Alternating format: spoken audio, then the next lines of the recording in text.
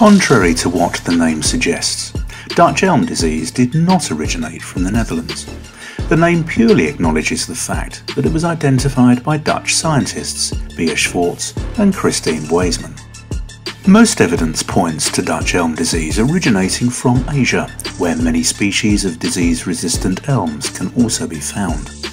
Two closely related species of fungi, Ophiostoma ulmi and O. novo ulmi, cause the disease that we call Dutch elm disease, and the likelihood is that they evolved in various parts of Asia. Symptoms first appear in early summer when leaves at the tip of the elm branches turn yellow and wilt.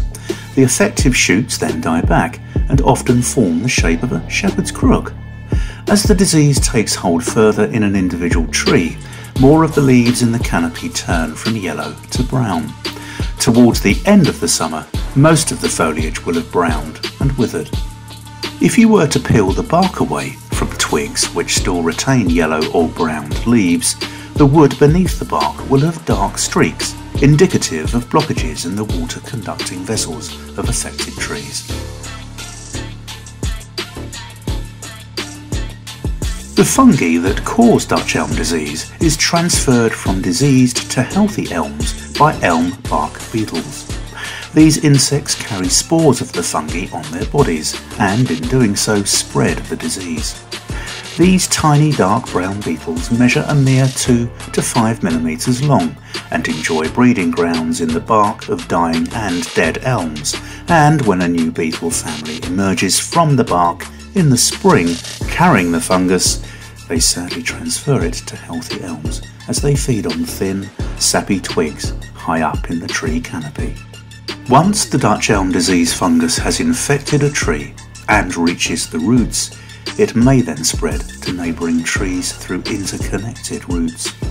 This occurs most commonly with elms in hedgerows with an interconnected root system. Some elms have genetic resistance or field resistance to the Dutch elm disease fungi.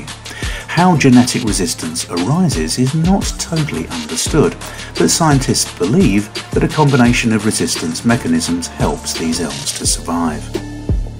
It is known that the structure of the water conducting system, known as xylem vessels, in the trees plays a critical part in limiting internal disease spread, allowing resistant trees to survive infection.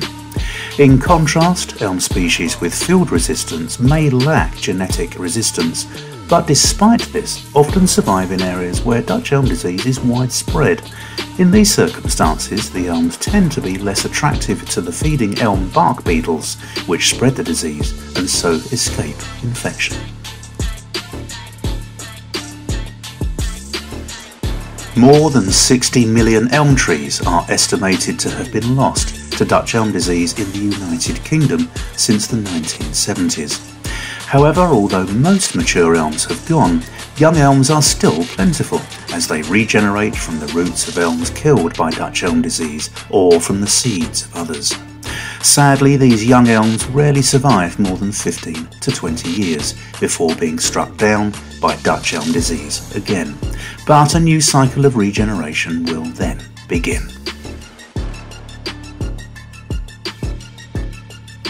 The most effective action against DED is to remove infected elms before they become breeding trees for the disease transmitting elm bark beetles.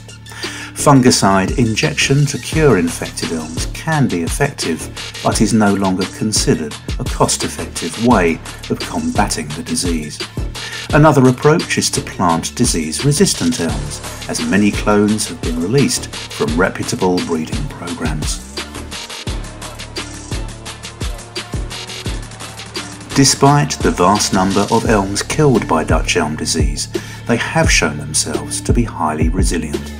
Some estimates suggest there are more elms in the countryside now than there were before the current epidemic took hold in the 1970s, although few of the mature elms from that time still survive.